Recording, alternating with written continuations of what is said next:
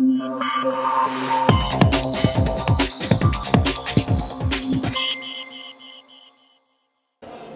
saludos. Estamos con Roberto Jesús Muñoz Finol, uno de los graduandos en, el día de hoy de los marineros de. De que nada, Roberto, cuéntanos cómo, cómo te has sentido en el día de hoy y cómo ha sido el proceso tú como jugador para tener, eh, para poder obtener ese grado tan sobresaliente con el cual has terminado tu bachillerato. Bueno, de verdad que muchísimas gracias por la oportunidad de estar aquí, de la entrevista. Eh, primero y principal, le quiero dar las gracias a Seattle, porque es algo sumamente especial para nosotros, porque es algo que nos ayuda muchísimo para un futuro. Porque, como hemos dicho, es difícil, y uno no sabe si uno puede salir del béisbol. Y en el momento de que si llega a salir, lo mejor que uno puede tener es una base. Eh, del proceso de jugador, estudiar, no es fácil, pero como siempre se ha dicho, lo que fácil viene, fácil se va. Y cuando tocas las, cosas duras, son las que valen la pena. No- nos tocó después de un juego, después de una práctica, ir a clase, muchas, muchas horas, llegar nosotros después de un juego, gimnasio, después del gimnasio, bueno, vamos, tenemos clase.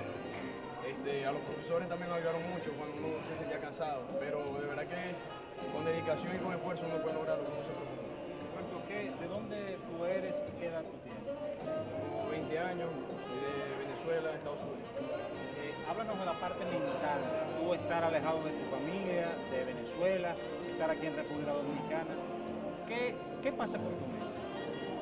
Son momentos en los cuales uno tiene que ser fuerte mentalmente, uno tiene que saber de que uno está aquí por, una- por un motivo, por una razón, que no estamos obligados, que son, es algo que nosotros mismos elegimos. Y que el apoyo familiar es muy importante en estos casos, porque nuestras familias son personas las cuales nos apoyan, las cuales siempre están pendientes de nosotros. Y ese sentimiento de hablar diariamente con ellos, de sentir apoyo hacen tenerlos cerca pero a la vez lejos.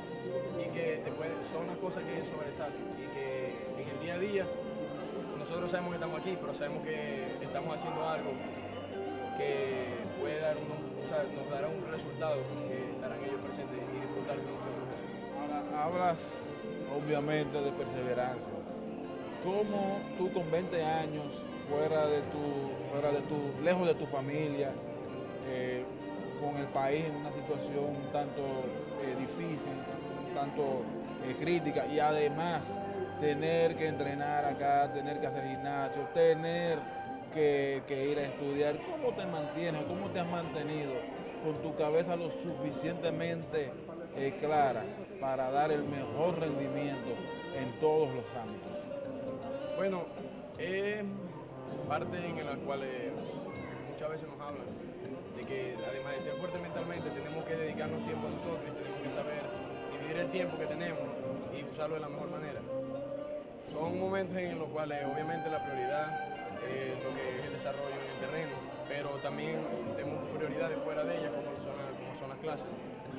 Es cuestión de saber mantenerse, saber seguir adelante, saber qué son las prioridades y tener día a día un tiempo para ti, para saber lo que es y cuando vamos al terreno, enfocar en el terreno, siempre enfocarse en lo que uno está haciendo. Después a la escuela, hacerlo y nunca dejar a la familia, porque la familia lo es todo. Sin la familia, sin un apoyo que incondicional, en momentos difíciles, no, nada sería posible. ¿Qué tú te identificas, Roberto, en el juego de las grandes ligas? Eh, ahora mismo me gustan varios, varios, varias personas, pero me gusta muchísimo y me identifico bastante con, con un receptor, con el coach, con Iván Rodríguez. Me identifico muchísimo con él porque como era su forma de jugar y como era su personalidad y me, gusta bastante. Y de la nueva, de los de los que están ahora mismo, hay muchos en los cuales uno puede agarrar ejemplos porque la verdad que todos son de alto nivel. Por cierto, Salvador Pérez, receptor venezolano, es uno de los premiers de la posición. ¿Te gustaría tal vez imitar, eh, irte por ahí por ese camino? Sí, o sea, Salvador es, como usted mismo lo ha dicho, Salvador es una estrella. Salvador es una persona en la cual son muchos ejemplos, una persona que demuestra la perseverancia, que hace uno o dos años fue el receptor que recibió todos los picheos que soltó, que tiró todo el bullpen de Kansas City desde Opening Day hasta que quedaron campeones. Y eso uno que sabe lo que significa es bastante duro y es un buen ejemplo así. Roberto, ya por último, quisiéramos que nos des un breve mensaje de motivación a aquellos jóvenes que pudiesen estar en tus mismos zapatos en este momento y que nos están viendo a través de todos estos medios.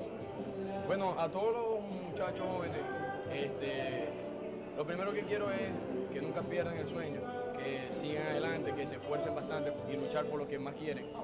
Que no se olviden tampoco de lo que son las cosas de afuera, de lo que son la escuela, de que no olviden a su familia, de que muchas veces muchas personas hablan de que durante el béisbol, no, que él cambió, que la persona que no es el mismo.